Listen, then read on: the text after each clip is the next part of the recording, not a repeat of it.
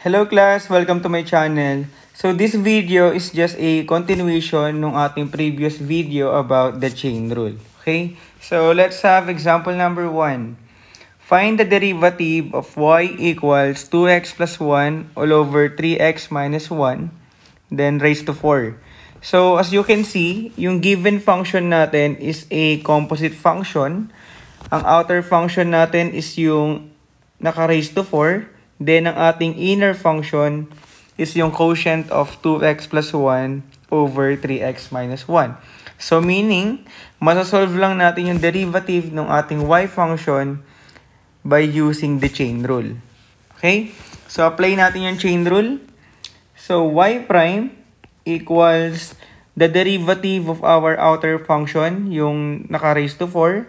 So, multiply lang natin yan then. So, we have 4 times copy yung inner function which is 2x plus 1 over 3x minus 1 raised to yung 4 ima-minus 1 natin so magiging 3 na lang. Okay? Then i-chain natin yung derivative ng ating inner function. So times so kung as, as you can see, yung ating inner function is hindi siya madaling kunin yung derivative dahil naka-quotient yan. So, para makuha natin yung derivative niyan, i-separate muna natin from doon sa ating original solution. Example, ito yung ating inner function. We have 2x plus 1 over 3x minus 1. So, kung mapapansin nyo, meron tayong f of x over g of x. So, itong function na to, para ma-solve natin yung kanyang derivative, gagamitan natin guys ng quotient rule. Okay? So, kung memorize nyo pa yung formula ng quotient rule, ang formula ng ating quotient rule is y prime equals g of x times f prime of x minus f of x times g prime of x all over g of x then squared. Okay? So, ang ating f of x dito is equals to 2x plus 1. So, ang ating f prime of x is equals to 2. Then, ang ating naman g of x is equals to 3x minus 1.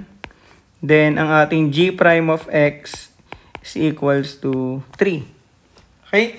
So, pwede na nating i-apply yung quotient rule natin. So, y prime equals g of x which is 3x minus 1 times yung f prime of x which is 2 minus f of x 2x plus 1 times g prime of x which is 3 all over g of x that is 3x minus 1 then squared. Okay?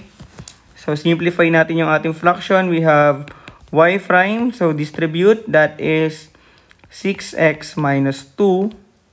Then, distribute natin yung 3. Meron din ay ditong 3 times 2x. That is 6x times yung negative dun sa outside. That is negative 6x. Then, 3 times 1. 3 times negative. That's negative 3. All over 3x minus 1 squared. So, combining like terms, ang derivative ng ating inner function ay, so makakancel to, negative 2 minus 3, that's negative 5, all over 3x minus 1 squared. So, ito yung derivative ng ating inner function na gagamitin natin para ma-solve yung ating composite function. So, dito natin siya ngayon isa-substitute.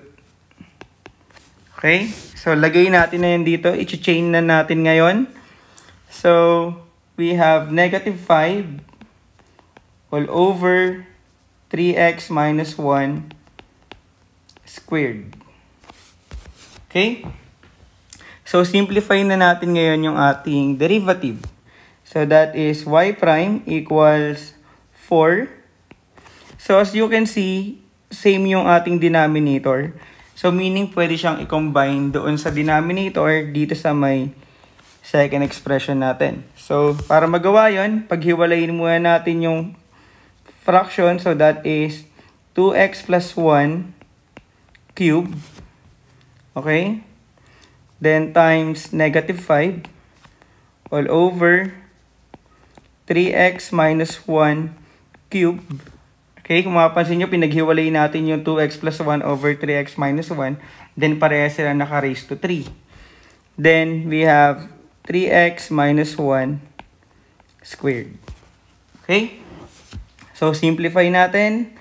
So, that is 4 times negative 5, that is negative 20 times 2x plus 1 cube all over 3x minus 1. Then, dito, uh, applying the product rule ng, ng ating loss of exponent, 3 plus 2, that is 5.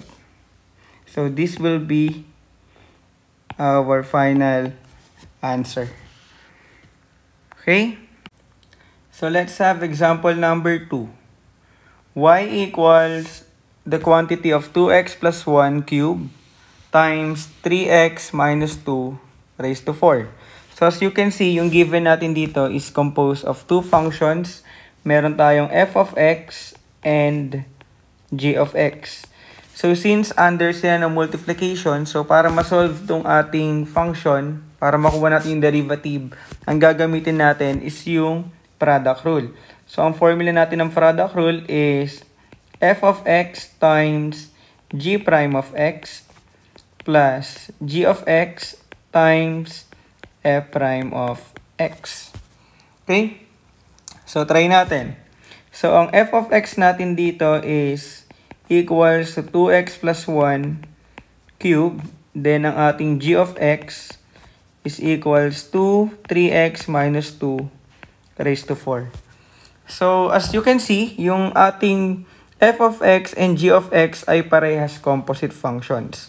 Meron tayong outer functions na naka-cube, then meron tayong inner function na 2x plus 1. So, meaning to say, para makuha natin si f prime of x, ang i-apply natin dito guys is yung ating chain rule. Okay? So, apply natin si chain rule. So, multiply natin yung exponent doon. That is 3 times 2x plus 1. Then, 3 minus 1, magiging square na lang to. Times, so, i-chain natin yung derivative ng binomial sa loob, which is 2x plus 1. So, ang derivative niyan is 2. Okay? So, simplify natin si f prime of x. So, that is 6 times 2x plus 1 squared. Okay? So, next, kunin naman natin si g prime of x. So, as you can see, si g of x natin is also a composite function. Ang ating outer function is naka-raise to 4. Then, ang ating inner function is binomial which is 3x minus 2. So, applying the chain rule, so by power formula, multiply natin to doon. We have 4 times 3x minus 2. Then, 4 minus 1, that's cube, times, so i-chain natin yung derivative nung ating inner function which is 3x minus 2. So, ang derivative niyan ay 3. Okay? So, simplify. So, g prime of x is equals to 12 times 3x minus 2 cube. Okay? So, after nyan, we can now get the derivative ng ating original function. So, y prime is equals to, so dito, ang gagamitin natin is itong ating product rule. So, f of x, that is 2x plus 1 cube times g prime of x which is 12 times 3x minus 2 cube plus g of x which is 3x minus 2 raised to 4 times f prime of x which is 6 times 2x plus 1 squared. So next, isi-simplify na natin yung ating derivatives. So, commonly guys, sa pag-simplify nito, ang gagamitin natin dito is yung factoring.